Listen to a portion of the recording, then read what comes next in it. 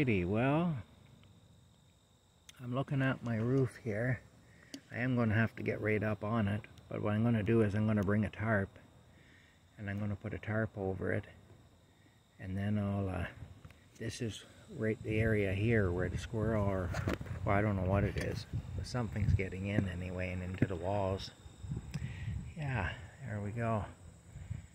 But I'll have to put a tarp down anyway. Ah, crazy. Crazy, crazy. Anyway, that's what's going on.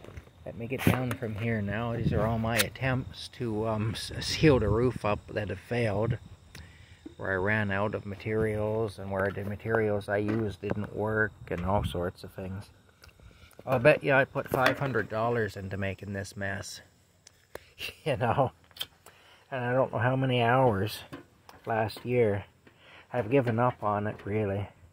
But still, I will, because I have a tarp, so I will put a tarp down, at least. And we'll see. We just see. Ah, we will, we'll see. Whoop. Ah. Alright, now, see, I don't want that down, water here going down into the thing. There we go. Ah, okay. Well, there we go. Yeah. My goodness.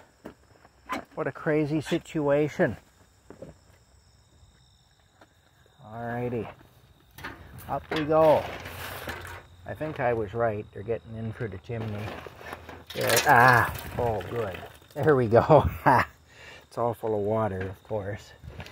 But I don't want to unfold it because until I get up here. Ah, what a mess. What an awful mess. okay. Well, I'll have to turn off the thing now because I have to have both hands to get up here. So we'll talk to y'all later.